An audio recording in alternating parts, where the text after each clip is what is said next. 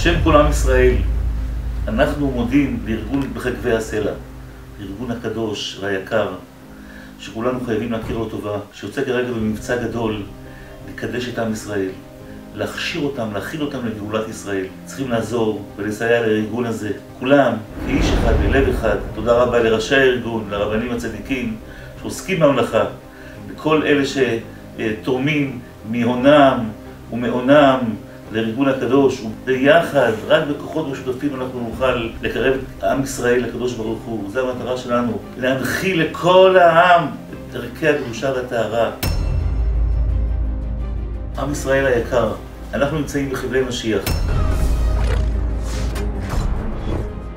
תקופה מאוד קשה. מה יעשה אדם ינצל בחבלי משיח? אנחנו צריכים להתחבר לקדוש ברוך הוא. חיבור לקדוש ברוך הוא נעשה דרך עבודת השם של תורה וגמילות חסדים. איך אנחנו יכולים ליישם את כוח התורה, להתחבר לקדוש ברוך הוא. יש בתורה מצווה, קדושים תהיו ללא לוקחים. החיבור לקדוש ברוך הוא זה דרך עולם הקדושה. איך אנחנו יכולים להתחבר ללימוד התורה? לימוד התורה לא מספיק הכישרון והשכל. על ידי המחשבה הקדושה אנחנו יכולים להתחבר ללימוד התורה. לימוד התורה זה, זה אלוקות, זה, זה, זה, זה תורת השם. אבל כדי שיהיה לנו מחשבה אלוקית, לסלק את הדברים הלא טובים שהצטברו במחשבה שלנו, אנחנו צריכים להתחבר לכוח קדושה. עם ישראל היקר, כשאנחנו לוקחים את המשניות, שזה התורה שבעל פה, ואנחנו הופכים את המשניות הקדושות לחלק מאיתנו, דהיינו, מניחים את המשניות הקדושות במחשבה שלנו, במוח שלנו, הם הופכים להיות חלק מאיתנו, ממלאים בקדושה את המוח שלנו, את הלב שלנו. ועל ידי זה אנחנו יכולים לצאת מהטומאה לכיוון הקדושה. מה שמפריד בינינו לבין הגאולה זה קדושת עם ישראל. כדי שאנחנו נזכה להתחבר למשיח צדקנו, כולו, כל כולו יהיה קדושה לטהרה, אנחנו חייבים להתכונן. אנחנו לא נתכונן, מי שטרח בערב שבת יכול בשבת.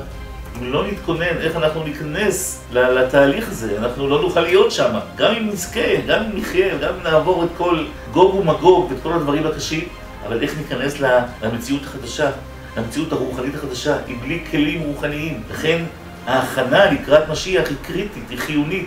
היסוד זה כוח הקדושה שבאמצעותו אנחנו מתחברים לקדוש ברוך הוא ואנחנו מכשירים את הקרקע כדי שנוכל לקבל את המשיח. זה הדרך החזקה ביותר לקרב את הגאולה, לזרז את הגאולה. אומר החפץ חיים, למה הקדוש ברוך הוא מעכב? הרי כל סימני הגאולה, מה שמביאה הגמרא כבר התקיימו, אז מה סיבת העיכוב? הוא אומר, הקדוש ברוך הוא רוצה שעוד יהודי יזכה לקבל את המשיח, ועוד יהודי יזכה לקבל את המשיח. כיצד?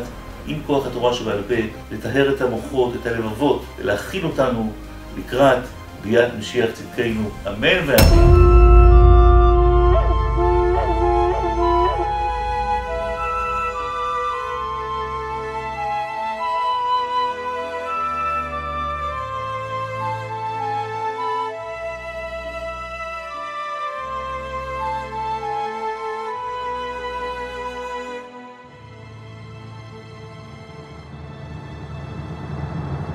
החן והיופי, העומק והמתיקות,